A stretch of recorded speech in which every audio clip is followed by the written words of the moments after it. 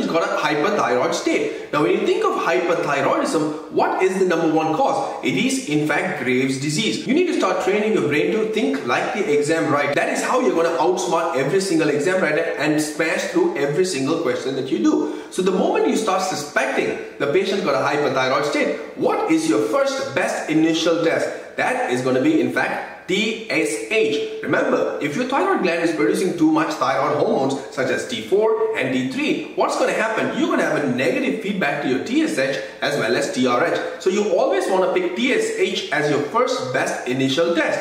You get a TSH, number one. And number two, the second test you're always going to order pretty much in most thyroid cases is going to be a free T4. Now they've already told us in the last lines that the patient's got a suppressed TSH and an elevated free T4. So now they're asking us the question, what is the most specific test that we're going to order to diagnose a patient with Graves' disease? Now, when it comes to Graves' disease, why does it happen?